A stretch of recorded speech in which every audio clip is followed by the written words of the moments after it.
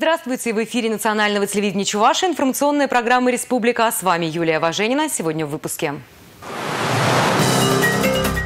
Моя кооперация. В Чебоксарах состоялось выездное заседание Центра Союза страны.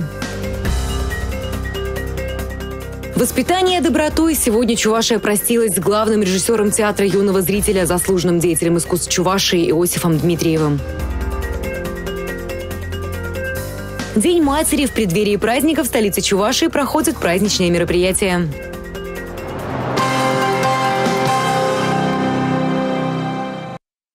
Сегодня с рабочим визитом в Чувашию приехал Геннадий Онищенко, заместитель председателя Комитета Госдумы России по образованию и науке. В Доме правительства прошел круглый стол, в котором приняли участие глава республики Михаил Игнатьев и руководители профильных министерств и ведомств.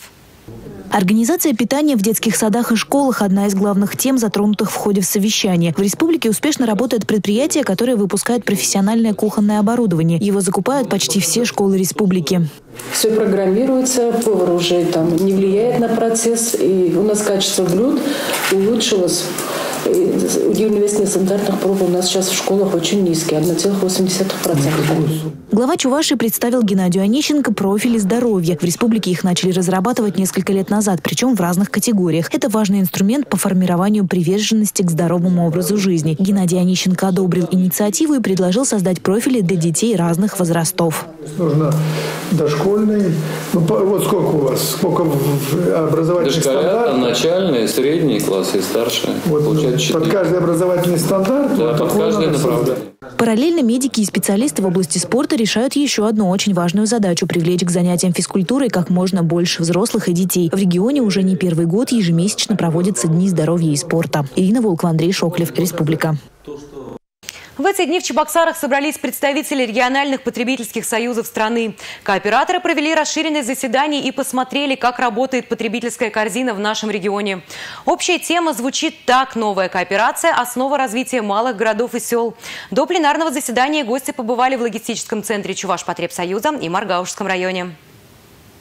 Тур для представителей региональных потребительских союзов страны начался, можно сказать, с мозга Чувашпотребсоюза, логистического центра в Чебоксарах. Именно отсюда товары уходят в тысячу магазинов в самых отдаленных деревнях республики. Еще пять лет назад на доставку продуктов уходило несколько дней. После того, как складские процессы автоматизировали, около суток.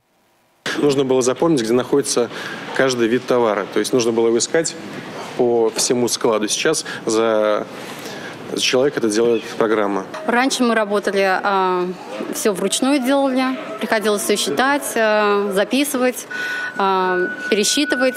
Сейчас такого нет, мы сейчас просто подходим к любой ячейке э, и аппаратом э, сканируем ячейку и сразу нам выдает и название, и количество, и э, какой там товар содержится. Следующая точка – комплекс деревни Калайкасы. Здесь местные жители могут купить все, от продуктов до сантехники. Кроме того, так как комплекс стоит на федеральной трассе М7, водители могут здесь поесть, отдохнуть в гостинице или даже постирать одежду. В Москокосах в системе потребительской кооперации открыли аптеку. Раньше жителям приходилось ездить за лекарствами в районный центр или даже Чебоксары. Я часто хожу сюда, куплю лекарства от давления, от инсульта. Если вот дорогие лекарства сегодня не будет, закажем, уже завтра будет. Рядом магазина, а еще швейный цех, основные направления которого – постельное белье, спецодежда и мелкий ремонт. Таких услуг в Москокосах раньше не было. Но мы очень удивлены в хорошую сторону вашим пребыванием потребительской кооперации в таком прекрасном состоянии. Столько почерпнули нового. Даже вот рядом находятся два предприятия. Это для нас это, ну, в общем-то, редкость. Хлебокомбинат Большесундырского райпо работает с 1965 года. Его продукция хорошо знакома жителям не только Маргаушского, но и многих других районов и столицы республики. Каждый день мы выпускаем до 30 наименований хлебобулочных изделий, до 20 наименований кондитерских изделий. В среднем за сутки выходит до 100 наименований Одна из главных отраслей потребительской кооперации – заготовка. В заготовительном комплексе села Большой Сундырь у населения принимают молоко, картофель, ягоды, лекарственные травы. А у близлежащих магазинов – картонные коробки из-под товаров в качестве вторсырья. Из них изготавливают тары для продажи яиц. Характерен очень толковый хозяйский подход, когда вот заметно становится то, что потребительская кооперация живет интересами тех территорий, на которых она проводит свою деятельность. Не везде так, как у вас. Ольга Пырочкина, Татьяна Раевская, Валерий Резюков. Республика. Перспективы потребительской кооперации обсуждались сегодня на расширенном заседании. Для производства и реализации продукции разрабатывают новые методы. Одна из инноваций – мобильное приложение. Тему продолжит Дмитрий Ковалев. Кооп. Этот логотип смогут использовать только те производители, чью продукцию оценят федеральные эксперты. Претендентов на торговую марку отбирал и депутат Госдумы, а в прошлом главный санитарный врач Геннадий Онищенко. Среди лучших и предприятия по выпуску пряников из Цивильского района. Сертификаты победителям вручали в торжественной обстановке.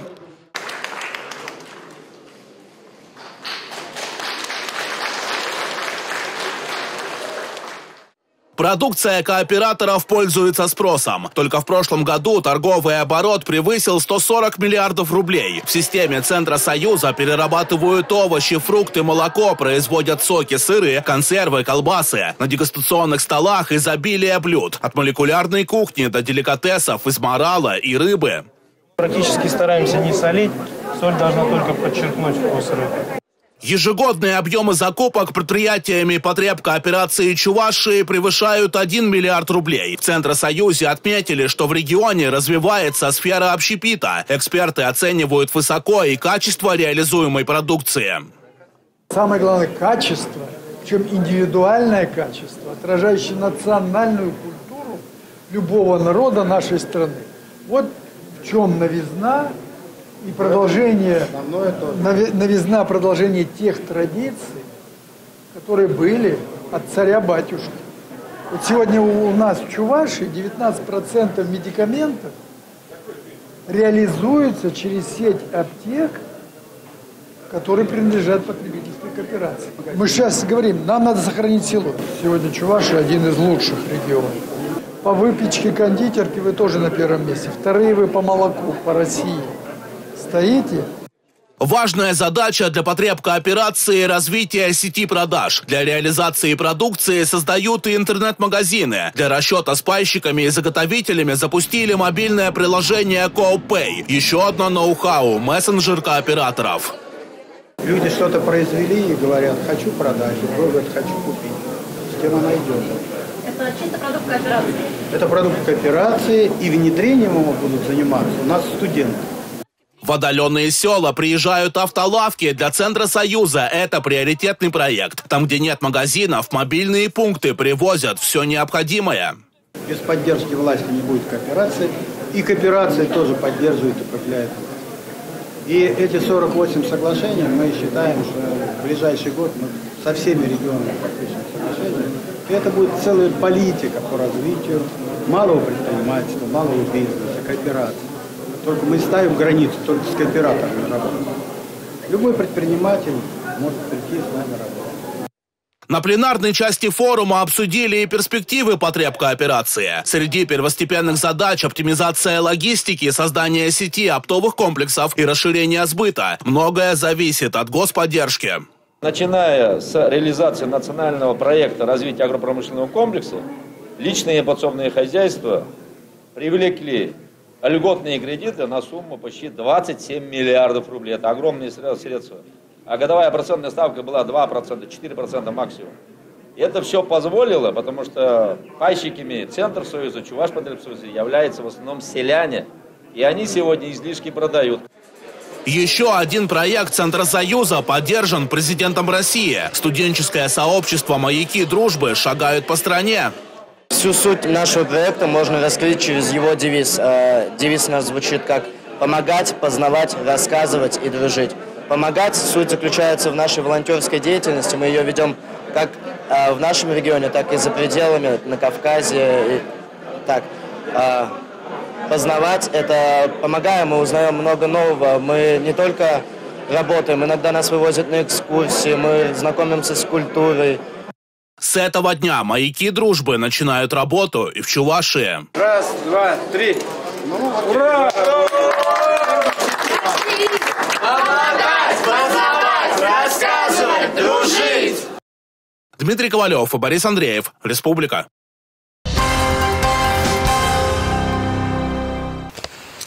Провести в Чувашии республиканский женский форум и Большой отцовский совет. Эти предложения сегодня выдвинули председатели Союза женщин и Совета отцов на встрече с главой Чувашии Михаилом Игнатьевым. В Союзе женщин работают только самые деятельные и энергичные, сообщила председатель Левтина Федорова. Во всех районах при ЗАГСах созданы советы, а проект «Особые, разные, равные», направленный на поддержку мам, воспитывающих детей с ограниченными возможностями здоровья, выиграл президентский грант. Совет отцов в Чувашии существует всего год. За это время созданы советы при школах и детских садах. Выверенная социально-демографическая политика в республике дает результаты. По э, удельному весу разводов по прошлому году были где-то на восьмом месте. Это показатель по статистике по Российской Федерации среди регионов Приволжский федеральный округ. Сегодня этот показатель мы улучшили в течение года. То есть не ухудшили, а улучшили. Значит, мы все правильно делаем. Алевтина Федорова предложила провести в следующем году в Чувашии женский форум. Председатель Совета отцов Алексей Мурыгин, в свою очередь, сообщил о начале подготовки Большого отцовского совета, куда будут приглашены представители Советов отцов всех уровней. Право знать в рамках Всероссийского дня правовой помощи детский омбудсмен Елена Сапаркина встретилась с воспитанниками Чебоксарского центра для детей-сирот и детей, оставшихся без попечения родителей. Эй, ежик! Будем в одной команде! Елки-иголки! Лови, лови, лови!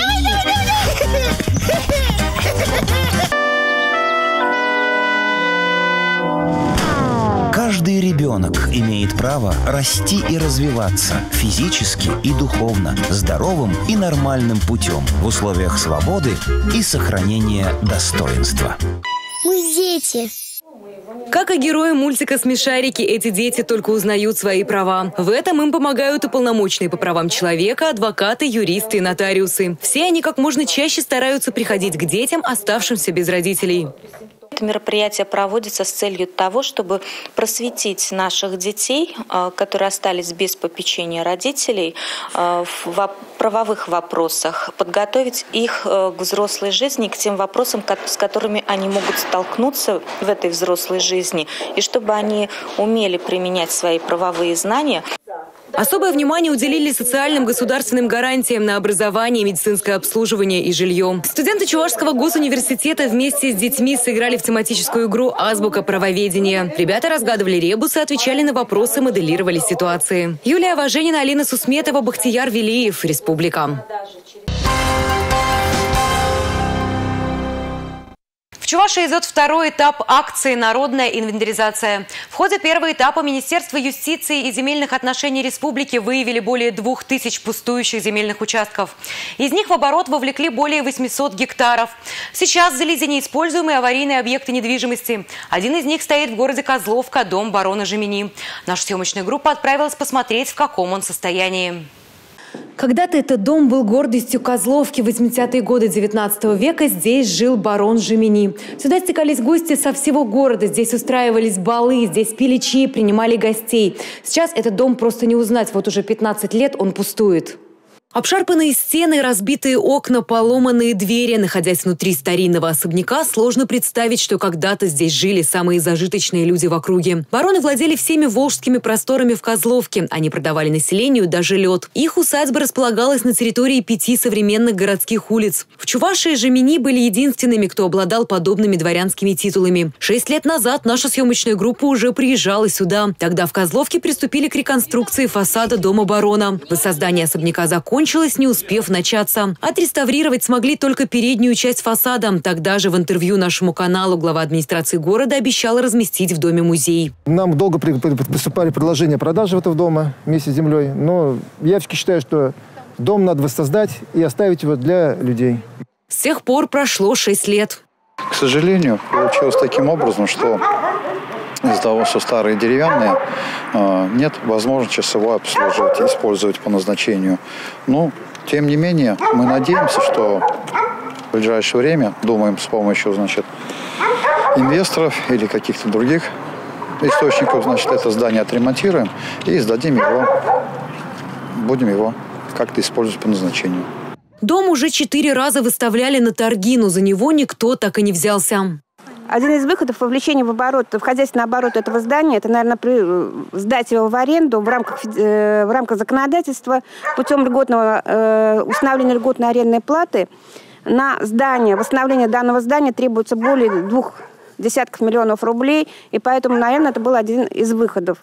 Дом барона Жемини далеко не единственное заброшенное здание. Еще один пример. Прямо около Урмарского поворота стоит вот это строение. Что это за сооружение и чье оно, пока непонятно. Хозяин неизвестен и у этих зданий. Они находятся около деревни Табанары Цивильского района. Судя по всему, здесь планировался отель и кафе, но пока здесь живут только птицы. Здание продается, но номер с объявления не отвечает. Эти строения в таком виде стоят уже около 10 лет. В настоящее время администрация Цивильского района устанавливается правообладатель данного объекта недвижимости. В случае, если будет, э, не найдется правообладатель, объект будет признан в установленном порядке бесхозным, поставлен на муниципальный счет и буквально будет реализован на, на торгах.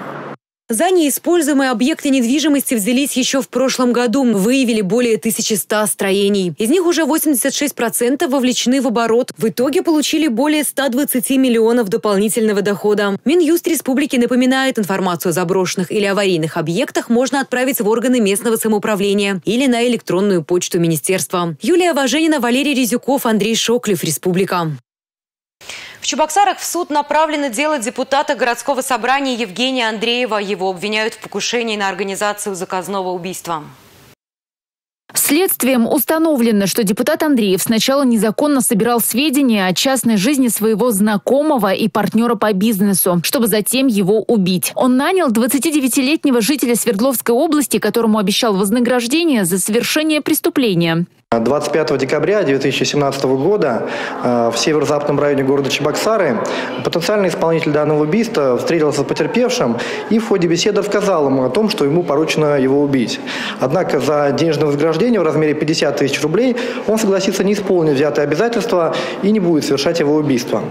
Таким образом, исполнитель хотел обмануть потерпевшего, завести в безлюдное место и застрелить, но в итоге промахнулся. В данные события вмешали сотрудники управления ФСБ России по Чувашской республике и помешали совершить запланированное преступление.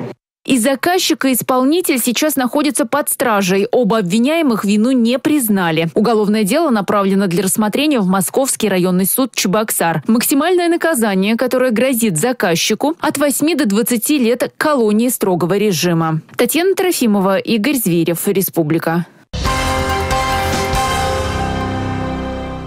Сегодня Чувашия простилась с главным режиссером театра юного зрителя, заслуженным деятелем искусств Чувашии Иосифом Дмитриевым.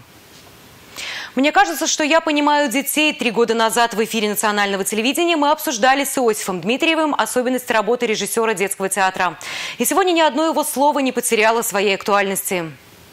О людях, работающих с детьми, поощрительно говорят. Он сам как ребенок. Иосиф Дмитриев Трер был взрослым, зрелым человеком, умеющим вести очень серьезные разговоры с детьми на простом и понятном им языке. Воспитание добротой, а, умение прощать, а, помочь, а, протянуть руку в трудную минуту. Как как улаживать конфликт с родителями. Паттерны такие, образцы мы даем решения их проблем. Самый известный режиссер нашего ТЮЗа попал в детский театр случайно. К 1980 году он успел окончить актерский факультет Ленинградского института театра и кино, поработать в Чувашском драмтеатре и получить режиссерское образование в ГИТИСе. Однако все взрослые театры республики в тот момент в режиссерах не нуждались, а ТЮЗ принял с удовольствием. Любовь оказалась взаимной. Мне кажется, что я понимаю детей. Кажется, что я понимаю детей, и потому способ существования в спектакле я подсказываю такой, чтобы этот способ существования актеров на сцене, а, он был понятен э, зрительному залу. Иосиф Дмитриев Трер до последних дней искренне и верно служил своему юному зрителю.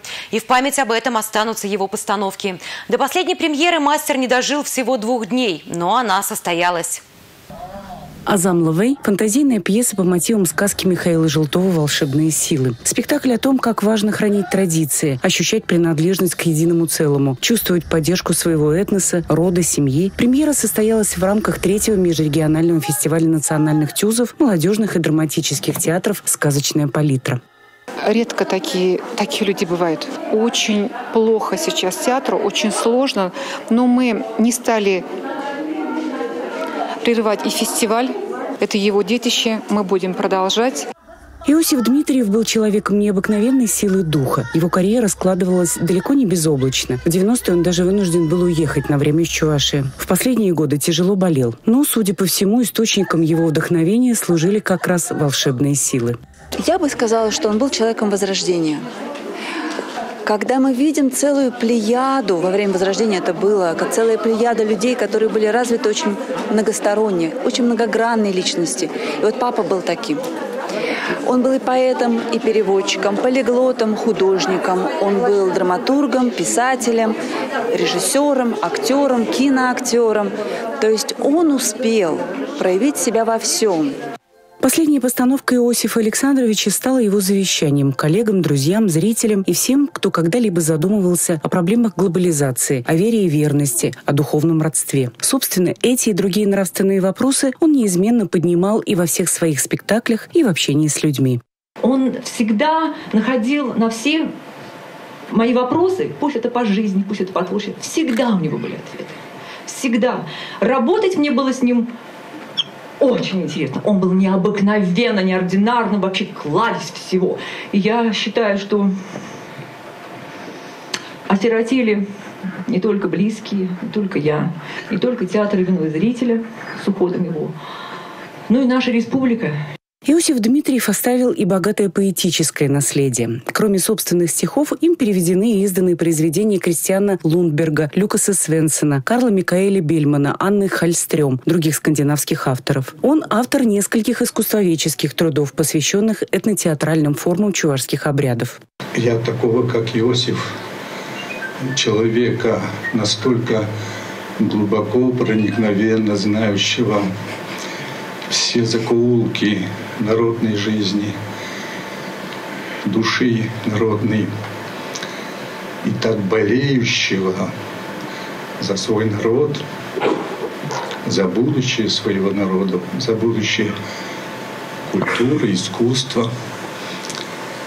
Вот для меня это удивительный, уникальный человек, вот единственный из всех моих хороших друзей. Безграничная любовь и глубокое уважение к своему народу. Такую память оставил о себе Иосиф Дмитриев Трер, человек, чье имя связано с театром юного зрителя, так же, как и имя Михаила Сеспеля.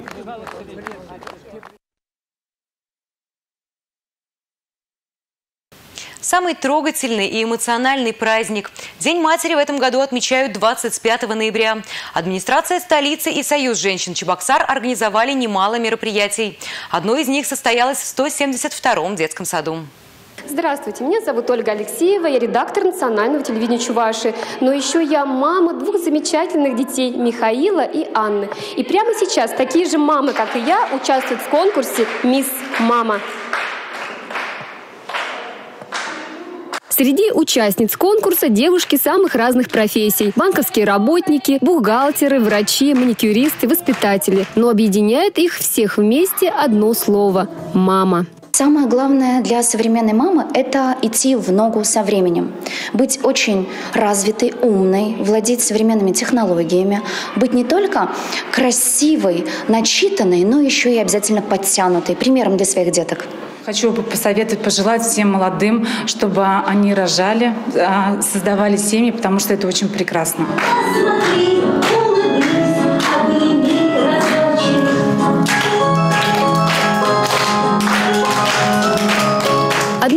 Главных навыков мамы – это то, как и что она готовит. Участницы конкурса приготовили любимые блюда своих детей. Ольга Арсентьева в свое творение добавила главный ингредиент – любовь. Это чувство живет во мне и процветает, отметила участница. И несмотря на то, что она уже мама троих детей, останавливаться на этом не собирается. Самое главное в нашей жизни – это мама.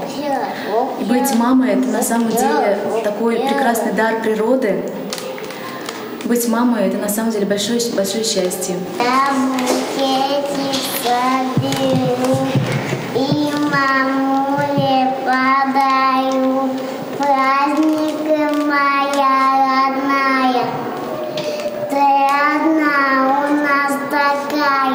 Каждая участница конкурса «Мисс Мама» победила в своей номинации. Но главное для них не победа и не участие. Не важны профессия, должность и образование, отметили они. Самое главное – это семья и дети. Матушка Богородица, Дева Святая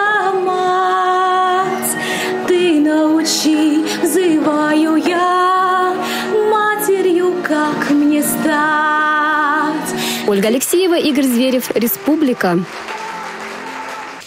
В Ледовом дворце состоялся товарищеский матч делегации Центра Союза с командой чувашского правительства. Об итогах встречи в нашем материале.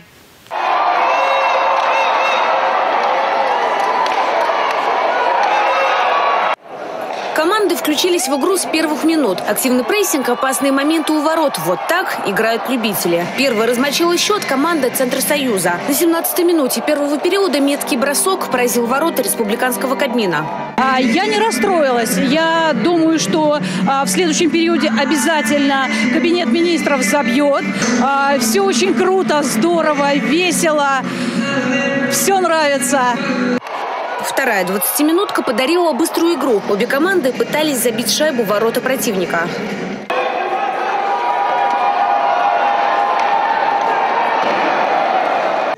В товарищеской встрече за нарушение правил наказывали штрафным броском. Первыми реализовали булит игроки Центра Союза. Капитан команды Дмитрий Зубов не оставил шанса вратарю. На перерыв команды ушли со счетом 0-2.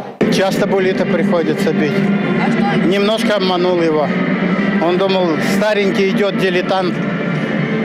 Пустил шайбу вперед. Он клюшку вытащил, а я ее убрал. Закусив губу, играем с профессионалами. Ну, хочется доказать, что жизнь продолжается, ветераны тоже могут бегать. А спорт сплачивает, как говорят в кооперации. Вот мы, молодежь и ветераны, играем вместе. В начале третьего периода отрыв Центра Союза вырос в два раза. На 15-й минуте команда Кабмина забросила ответную шайбу.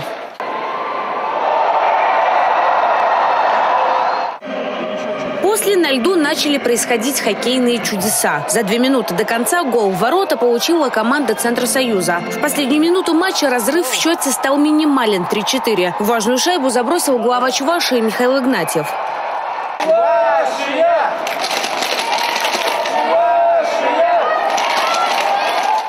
Сыграть в ничью в товарищеском матче не получилось, но хозяев льда это не расстроило. Вы знаете, нет, при такой борьбе не обидно. Главное же участие, как бы поиграли, по, по само увидели, как и другие играют, сами как играем.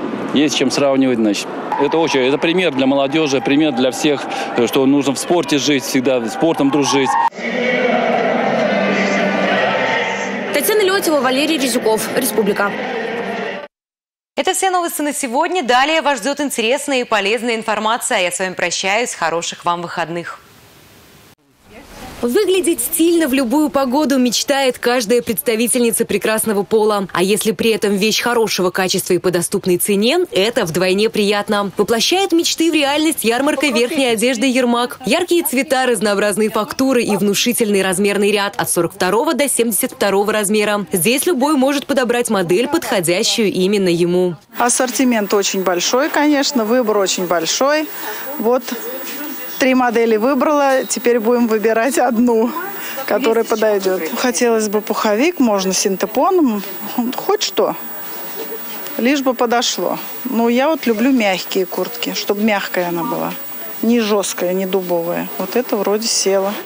Соотношение цена-качество на ярмарке просто идеальное. Здесь цена фабричных вещей от российских производителей не кусается. Анна Кенина пришла сюда за зимней курткой. Как раз недавно на ярмарку поступила новая теплая коллекция. Я выбираю куртку на зиму. Зима будет, надеюсь, холодная, чтобы куртку носить можно было. Ассортимент довольно-таки большой.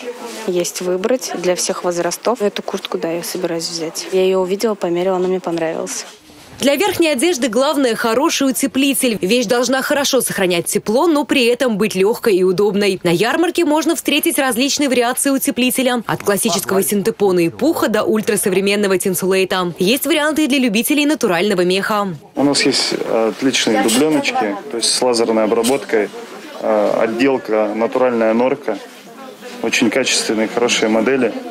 Э, Все производится у нас на фабриках. Более пяти тысяч моделей курток, пальто, дубленок, ветровок. Здесь каждый найдет себе обновку по душе и кошельку. И самое главное, все цены у нас оптовые. Допустим, осеннюю курточку можно приобрести всего лишь за 2200 рублей, а теплый зимний пуховик за 2980 рублей. На ярмарке верхней одежды можно одеть всю семью без ущерба для бюджета. Она работает с 10 утра и до 8 вечера без обеда и выходных. Вас ждут по адресу улицы Максима Горького, 49, торговый центр «Максидом».